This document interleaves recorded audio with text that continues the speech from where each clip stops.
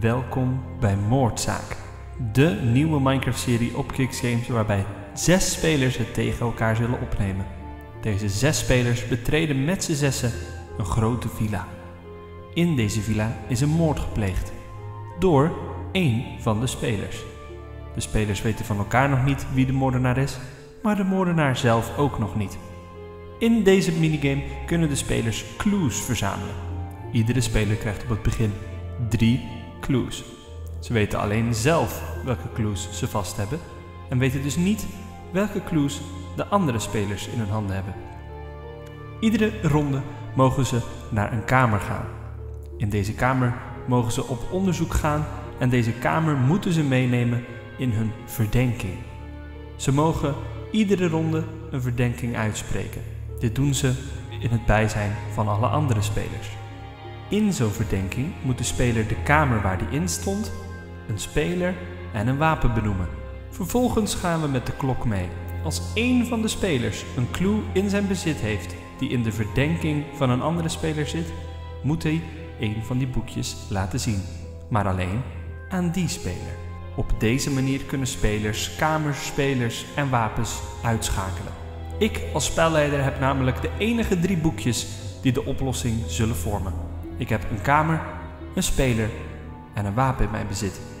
Nadat de spelers vertrekken richting een kamer, mogen ze op onderzoek uitgaan. Welke speler zal als eerste alle drie de boekjes goed raden? Dus zowel de kamer als de speler als het moordwapen? Je gaat het zien in moordzaak. Na een kort onderzoek in de allereerste kamer voor de spelers is het tijd voor de eerste verdenkingen. We gaan met de klok mee en alle spelers mogen hun eerste verdenking uitspreken. En wanneer ze rond de tafel gaan zitten met hun eerste onderzoek, is het speler rood die als eerste een verdenking mag gaan uitspreken. Eh, dan denk ik dat het de slaapkamer is. Goed dat het speler wit is met de koevoet. Speler blauw is de eerste speler die een boekje heeft en laat een van zijn clues zien aan speler rood. Speler rood opent het boekje en ziet dat speler wit niet de verdachte kan zijn, omdat speler blauw dat boekje in zijn bezit heeft. Speler blauw gaat terugzitten en de volgende speler is aan zet. Ik denk dat de moord is gepleegd in de voorraadkamer door speler blauw met de koevoet. Deze keer is het speler groen die een clue heeft voor de zwarte speler. Hij krijgt te weten dat de voorraadkamer niet de plek kan zijn waar de moord is gepleegd. eetzaal, speler roze en wapen zwaard. Na deze verdenking is het speler wit die een boekje aan speler groen geeft. In dit boekje is te zien dat speler roze niet de dader kan zijn. Hierna is speler blauw aan de beurt. Mijn vermoedens zijn ehm, dat de moord is gepleegd in de badkamer door speler groen en door middel van een koevoet. Speler wit heeft het boekje van de koevoet en laat deze dan ook zien aan speler blauw. Zo weet speler blauw dat het niet gebeurd kan zijn met de koevoet. Ik vermoed dat de moord is gepleegd door speler zwart met de knuppel in de keuken. Speler groen staat op en geeft speler wit zijn boekje van de knuppel. En daardoor weet speler wit dat de moord niet gepleegd kan zijn met de knuppel. Ik zat te denken aan in de studeerkamer met staf en spelerroze. Speler zwart geeft speler roze het boekje van de studeerkamer. En daardoor weet speler roze dat ook de studeerkamer niet de locatie kan zijn van de moord. Na deze eerste verdenking is het voor de spelers weer tijd om verder te gaan met het onderzoek. Ze hebben nu nieuwe clues gekregen, dus waarschijnlijk ook meer kennis en meer inzicht in wat er is gebeurd. In welke kamer is de moord gepleegd? Met welk wapen? En door welke speler? Ze krijgen korte tijd om weer een nieuwe kamer op te zoeken die ze moeten meenemen in hun verdenking. En kort daarna moeten ze weer terugkomen naar de vergadertafel. Speler rood mag weer beginnen.